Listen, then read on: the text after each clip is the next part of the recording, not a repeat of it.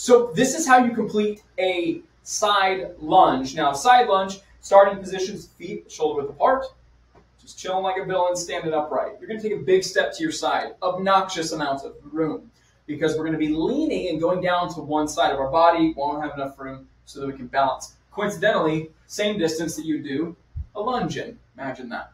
Feet nice and wide. Okay, from here, two ways you can do it. Option one is when you go down to your side, it looks like this. Okay, you're going to turn your toe, this opposite toe, up in the air.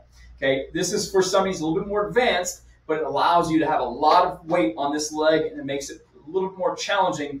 But maybe it's like you're not quite ready to lift more weight, like have a, have a, a kettlebell or some sort of weight on you. This is a great option to do that. So here, when you go down, okay, my hip, my hip here is below my knee, my back is nice and straight. When I go down, I'm not continuing to just lean this way. I am bending and going straight down. So here, straight down. Okay? This leg is straight, push up, and then I go to the opposite side. Bam, bam. Now, if that's a little bit of a challenge, because it just really makes that one leg work, you can have both your feet facing this way.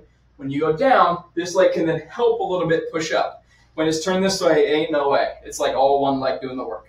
So just like that, okay? When you do it, there's two ways you can finish it too. I'm gonna show you all four variations. Pick which one. I'll start with the, the least difficult to the most difficult.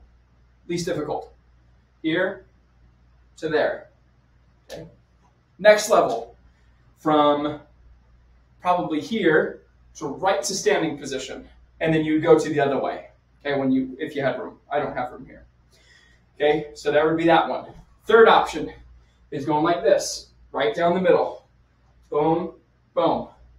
Fourth option, most challenging, is to go here and then shove to the top, right in one motion. You don't want to do it in steps, do it in one. So if I'm going here, boom, right to the top. And that is how you complete a side lunge.